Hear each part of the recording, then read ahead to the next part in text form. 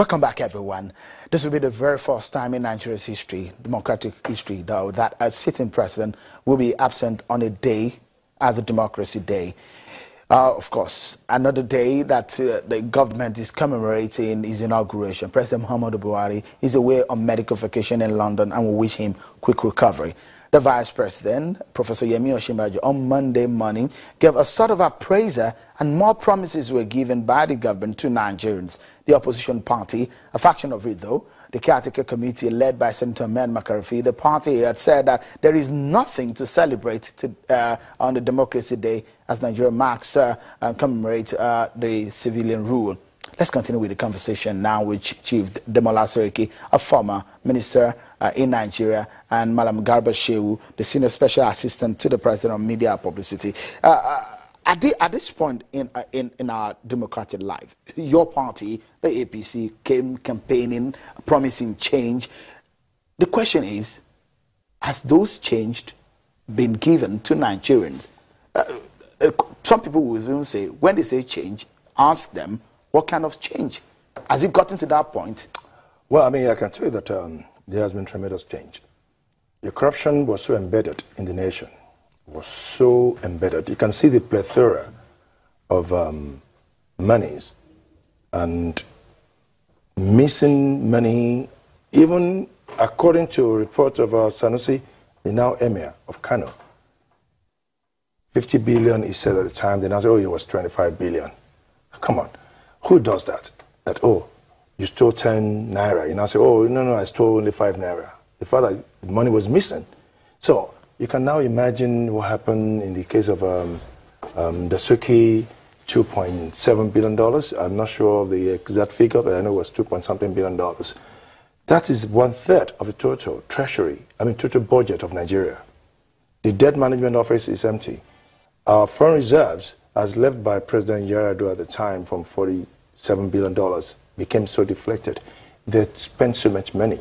So now the fear of Buhari is the beginning of wisdom, that you cannot do some things. People are now watchful. If, if you're talking about anti-corruption war, which you just mentioned, the question is how many prosecutions have been made in two years that this song has been uh, ringing loud and clear? But you ask the question, how many prosecution? Uh, isn't just mere noise that have been made? I can, I can, tell you that the whistleblowing measure has been very, very um, implemented excellently. It's been implemented excellently. In, exceed, in, in fact, beyond my own imagination. You are better with 95% of something than 0%. So you give whistleblower 5%. That's number one. Number two, there have been a lot of administrative bills. A lot of people are on admin, admin bills returning money. What's the essence of jailing them? At the end of the day, you don't recover anything. And their generations upon generations will enjoy the loot. So what the government is putting in place and doing by uh, Magu to ensure that uh, the money is returned. We can see the money, we can see where it is hidden in many, many cases. And we're interested in recovering the money. Chief Seriki. Because a lot of people are being punished, and at the end of the day, they still get away with the money. Their families, their wives, their kids, and all that will be riding Rolls Royce all over the world and all that. So that is even a better condition for me. I, I think I'm pleased with that. Okay. And I think a lot of Nigerians are pleased with that. You're a politician and you, you of course, you speak with your people and you know what they feel. Do you see a rising uh, uh, uh, or a decreasing level of popularity of your party on the street? Well, I mean, for now, I don't see it because uh, Nigerians are being patient with us. They're showing. You think Nigerians are not angry with your no, party? No, they, look, there's no government that they're not angry with. There's no government. Look, the other time Save Nigeria group against Jonathan, it was was it was not something meaningful. Few people put together and said that they were marching towards a letter, and Nigerians are angry, and there's never a time that we're not angry because you have to bear in mind that uh, the Nigerianism in all of us has a lot to do with a lot of things. Mm. We must ensure that we maintain that integrity.